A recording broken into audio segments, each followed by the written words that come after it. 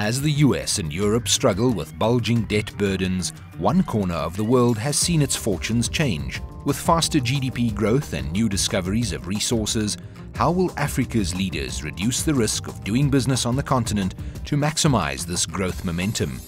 Join CNBC Africa live from the World Economic Forum in Davos as we sit down with some of the continent's leading voices as they discuss the strategies needed to de-risk Africa.